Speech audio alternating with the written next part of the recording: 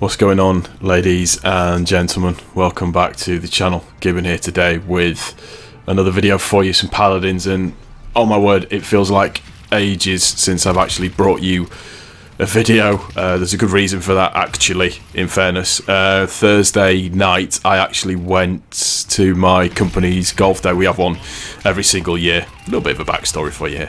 And uh, that involved me being away from home for about two or three days. So uh, that coupled with some stuff that I had to do over the weekend, I just figured I would just take a, a just a clean break for a few days and then come back with a Paladins video because it's been a little bit of a while. Also, as well, I've been trying to find a new editing software.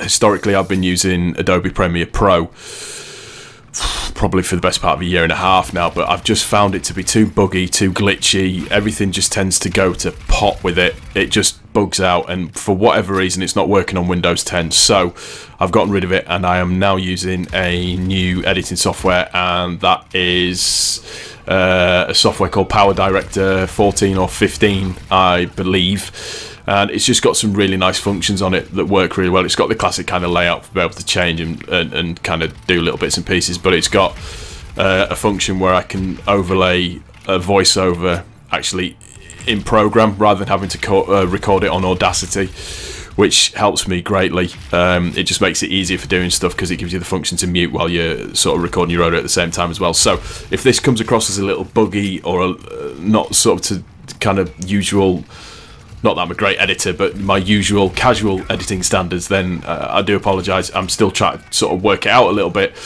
But yeah, as I said in the background, you're watching some Paladins. I am playing as Viktor, doing a little bit of escorting of the payload for a little bit of fun. And big thank you to, I can't remember the name of the person on Reddit that gave me the suggestion of binding my sprint to shift. And that just appeared to work really, really well for me. And it's really helped me out a lot. It's one of the things that I said in my other Paladins video that I'm not doing enough or very well at was as pressing the F button originally, which is what the original button is for, for your sprint function.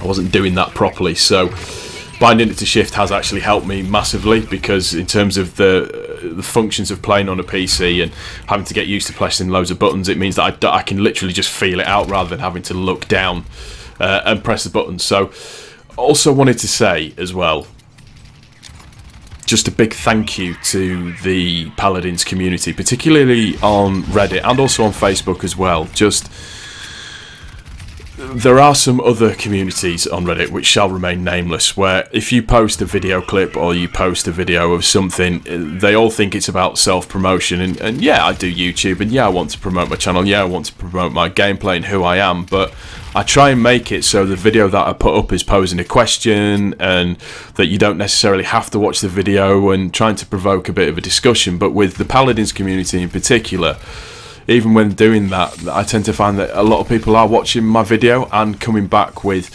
suggestions, comments, rather than just using, oh, you suck, you're going to get banned, that kind of thing, and all that kind of stuff. And I try to contribute to discussions at the same time as well. So, just from that point of view, particularly for uh, the CSGO community as well, funnily enough, on Reddit, have been pretty cool with me.